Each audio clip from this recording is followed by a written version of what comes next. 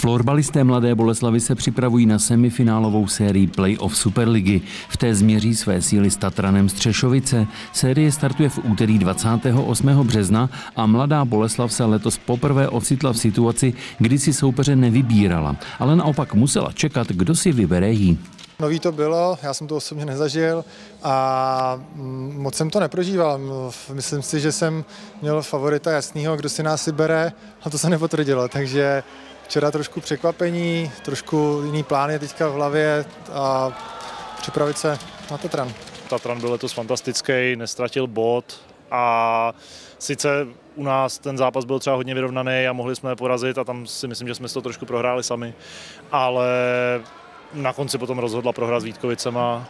Takže ano, ta situace je pro nás nová, nejsme na to zvyklí, nicméně taková je realita a my se musíme připravit na toho soupeře, co přijde. V základní části Mladá Boleslav s Tatranem prohrála obě vzájemná utkání. Divákům v domácí sportovní hale ale během semifinále slibují nejatraktivnější souboj o postup do finále Superligy.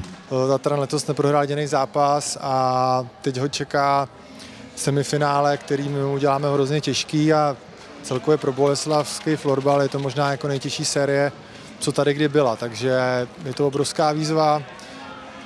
Věřím, že se umíme připravit na těžké zápasy a bude to, doufám, dlouhá série. První dva zápasy se hrají v úterý 28. a ve středu 29. března v Praze.